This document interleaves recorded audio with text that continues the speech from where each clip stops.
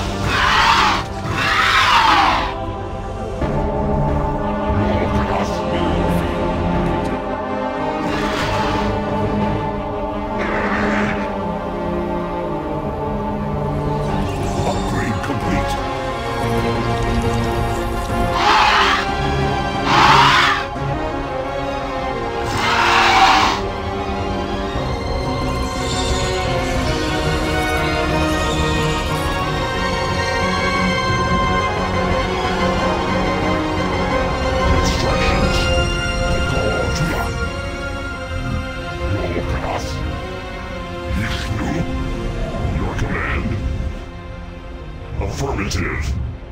Go. Instructions. Commencing.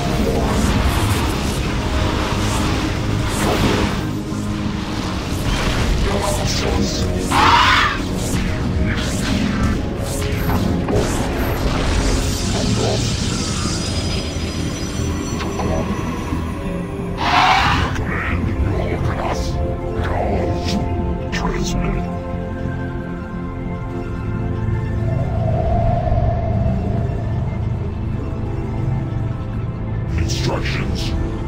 Commencing your...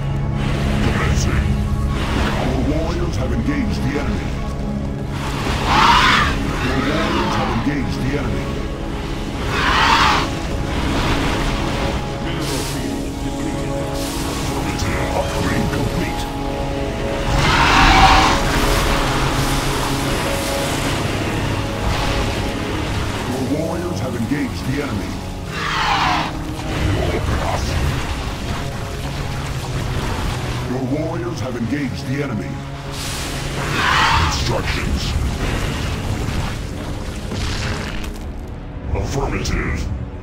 Commencing.